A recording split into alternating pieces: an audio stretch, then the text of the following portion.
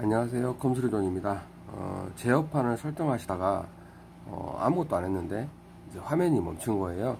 그래서 강제로 재부팅을 했는데요. 이후부터는 이렇게 윈도우에서 파일 로드 중이라고 뜨면서 부팅이 아예 안 돼서 어, 저희한테 출장을 의뢰를 하셨어요. 음, 증상은 여전했고요. 미리 말씀하신 부분이 있었어요. 어, 저장장치의 슬롯 부분이 너무 이렇게 허스로스로 해야 된다고 하나? 이렇게 살짝만 움직여도 어, 접촉이 안 되고 이런 부분이 있었는데요. 음, 그래서 한번 어, BIOS에서도 확인을 해 봤는데 잘 인식을 하고 있고요.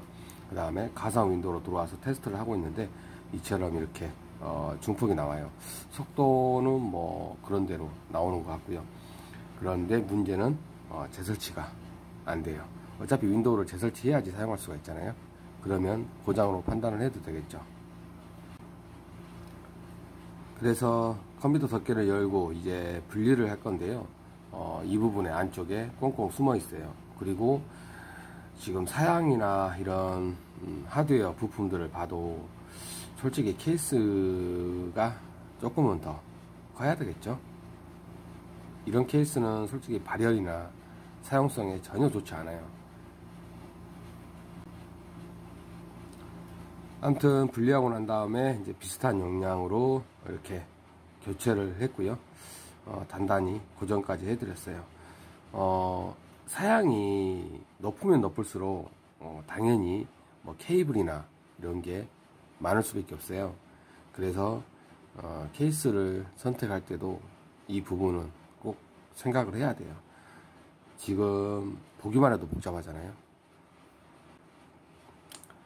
암튼 다시 전원을 켜고 바이오스로 들어왔는데요. 어, 잘 인식되고 있죠? 다시 재설치를 하는데 이번에는 잘 돼요. 그런데 분명히 사양은 좋은데 음, 윈도우 10이 아닌 윈도우 7로 사용을 하신대요.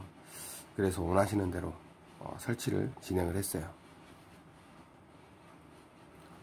설치가 끝나고 어, 한글 어, 오피스 같은 프로그램들은 이제 설치를 해 드렸고요.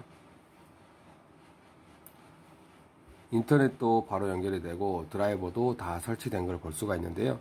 어, 윈도우 7이라고 해도 저희가 자체적으로 드라이버는 중간에 다 설치되도록 어, 제작을 했어요. 그래서 가능한 일이고요. 암튼 현장에서 바로 해결을 해 드렸어요